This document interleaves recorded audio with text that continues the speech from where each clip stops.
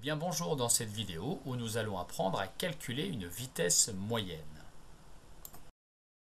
Cette vidéo fait suite à la première vidéo où nous avons appris à connaître l'unité de mesure que nous devions utiliser et connaître les différents paramètres permettant de calculer la vitesse moyenne d'un objet en déplacement. Revenons donc sur ces différentes indications. La vitesse, la vitesse moyenne par exemple, s'exprime dans une unité de mesure. Cette unité de mesure pouvait être le kilomètre par heure si un, vélo, une voiture, un train se déplace. La vitesse peut s'exprimer en mètres par seconde dans le cas d'un coureur à pied, un sprinter par exemple, ou dans le cas de l'étude d'une bille en chute verticale. Vous pouvez utiliser aussi le kilomètre par seconde. Dans ce cas, cette unité est essentiellement réservée à la vitesse de la lumière.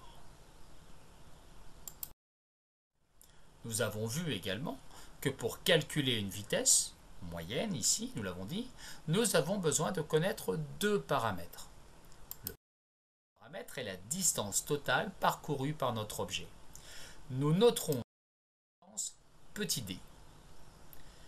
Il également la durée totale du parcours.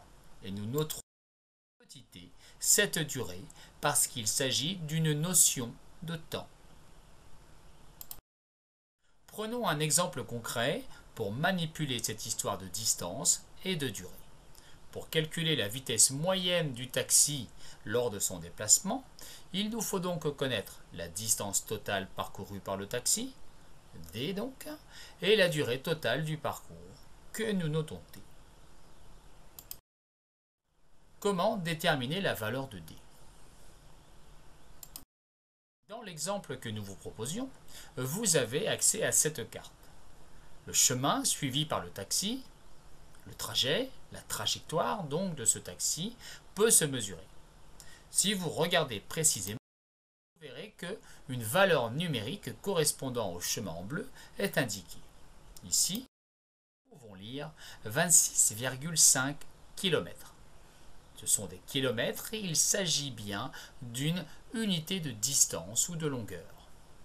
Nous en donc que la distance totale parcourue par l'objet est de 26,5 km. Notons donc D est égal à 26,5 km. Reprenons la valeur dans cette diapositive. La distance totale parcourue par le taxi est D égale 26,5 km recherche de la durée. Comment déterminer la valeur de t? Si vous regardez bien... Est-ce que vous pouvez me sauver la vie? Vous allez A priori, voir que non. J'ai un avion en marien de dans taxi 25 minutes. va se mettre en route, il va partir.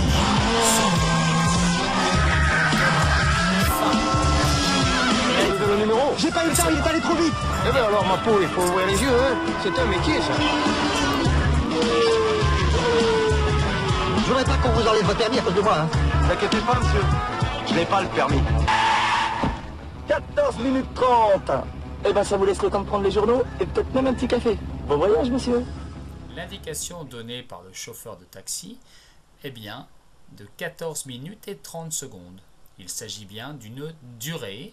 Nous pouvons donc indiquer t, petit t, est égal à 14 minutes et 30 secondes. Nous avons donc bien les deux indications nécessaires. La distance totale parcourue par le taxi est d égale 26,5 km.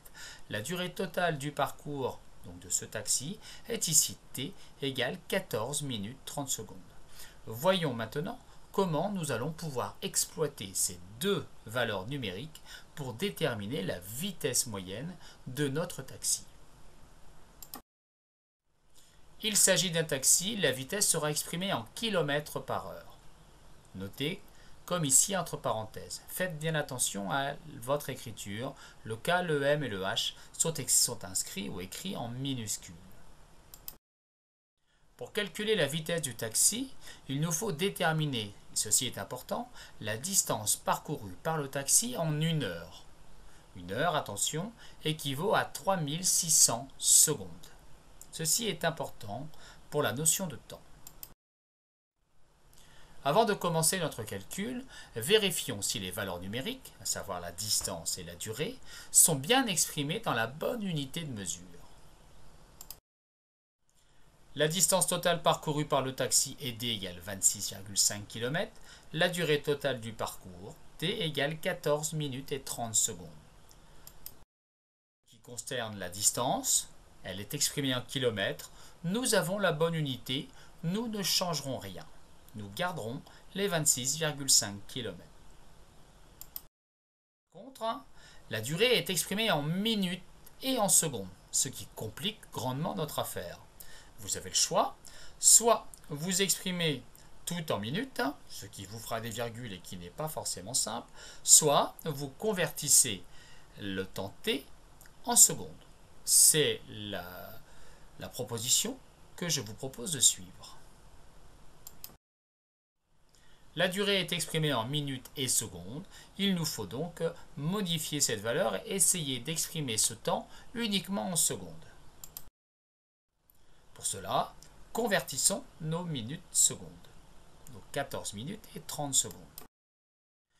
N'oubliez pas, sur le Padlet que nous avons mis à votre disposition, vous avez cette vidéo proposée par un collègue et qui vous explique pas à pas comment convertir des unités de temps. Je vous laisse retourner vers cette vidéo si vous en avez besoin. Toujours que cette vidéo nous apprend ou nous rappelle en fonction de notre niveau à tous, qu'une minute est égale à 60 secondes. Ce veut dire que 14 minutes seront égaux à 14 fois 60, 840 secondes. Ici, nous, nous avons 14 minutes et 30 secondes. Pour 840 secondes, vous devez donc ajouter 30 secondes. 14 minutes et 30 secondes sont donc égaux à 870 secondes. Voilà, nous avons nos valeurs numériques dans des unités qui nous conviennent. La distance 26,5 km et la durée t 870 secondes. Je vous rappelle qu'une heure est égale à 3600 secondes. Voilà pourquoi nous avons fait le choix de convertir nos minutes secondes uniquement en secondes.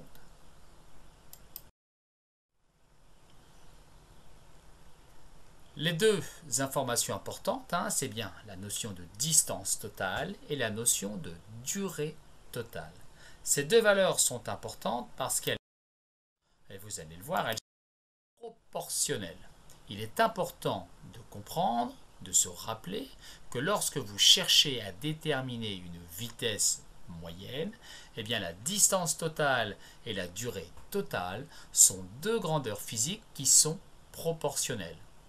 Donc, j'ai droit de dire que la distance totale parcourue par le taxi est proportionnelle à la durée totale du parcours.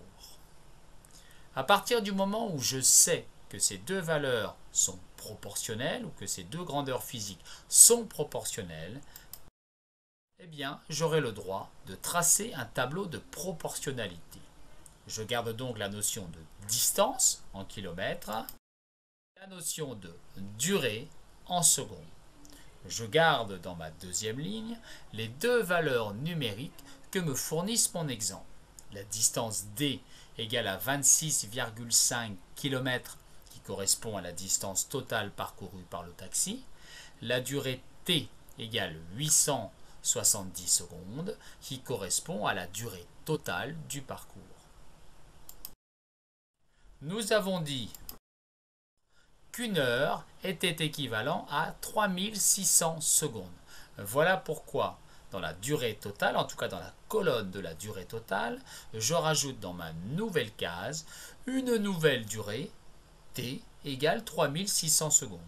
Et je vais donc essayer de déterminer la valeur que je vais pouvoir calculer, c'est-à-dire quelle sera la distance qui s'exprimera en kilomètres parcourue par mon objet. Donc je cherche à déterminer la valeur de D. Les deux grandeurs sont proportionnelles, je vais devoir multiplier la valeur 3600 secondes ici présente par les 26,5 km que je vais multiplier par 870 de façon à déterminer la valeur de D. Je répète, 3600 multiplié par 26,5 divisé par 870 nous donne la valeur de la distance que nous recherchons. J'ai le droit d'effectuer ce calcul parce que la distance et la durée sont deux grandeurs proportionnelles. Ce qui veut dire que le 26,5 est proportionnel à 870 et que donc la distance D que je cherche ici sera proportionnelle à mes 3600 secondes. Le calcul donne donc D égale 3600 fois 26,5 divisé par 870. C'est une distance que je cherche. Le résultat sera donc exprimé en kilomètres. La valeur calculée nous donne une valeur de D égale à 109,7 km. Cela veut dire que la distance parcourue par le taxi en 3600 secondes, c'est-à-dire en une heure, est d'environ 109,7 km. Cela revient à dire, et là c'est extrêmement important, cela revient à dire que sa vitesse est d'environ 109,7 km par heure. Vous voyez que nous avons la même valeur numérique, mais que l'unité a changé. Ici, nous avions des kilomètres. Ici, nous avons des kilomètres par heure, parce que la première valeur correspondait à la distance parcourue par le taxi en une heure. La barre avec le H ici correspond bien à 109,7 km en une heure. Voilà, nous arrivons au terme de cette vidéo. Nous avons appris donc à utiliser la distance parcourue par notre objet ainsi que la durée totale du parcours de cet objet pour déterminer la vitesse moyenne du taxi. Attention, cela ne nous donne pas les différentes vitesses lors des accélérations ou des freinages de notre taxi. Je vous remercie de votre visite, de votre écoute et n'hésitez pas à nous contacter si besoin. Au revoir.